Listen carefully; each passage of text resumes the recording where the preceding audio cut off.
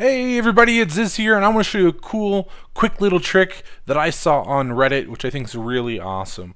And what it does is it lets you skip the splash screens uh, when you first launch the game. So you can see here, you open up your launcher, you click play, uh, and then what happens is that it'll go to three or four different little splash screens like this. See, so you get this thing, and then you get, a, and sure, you can left click or press a button, and you can kind of skip past them, but you still, every time you launch the game.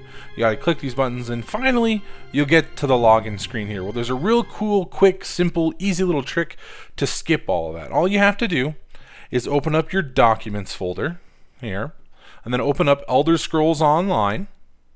Open up your live folder and then there'll be an option here that says user settings. All you need to do is open this, okay? Now, down towards the bottom, there's going to be an option that says skip pregame video right down there towards the bottom. You see that? And all you're going to do is, at the end, it says, it has a parenthesis, zero, parenthesis. All you're going to do is delete the zero and put a one in its place. That's all I did right there. I just deleted the zero and put a one, okay?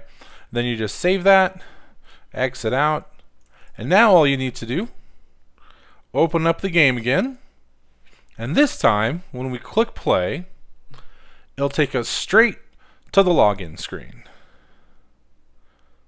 Just like that. See? So super simple, super easy, quick little fix to save you time, and that way you don't have to click past all those splash screens. So again, I got this off Reddit. I didn't come up with it, but it's something I wanted to make sure I shared with everybody who watches. So I hope you like it, and I'll see you out there.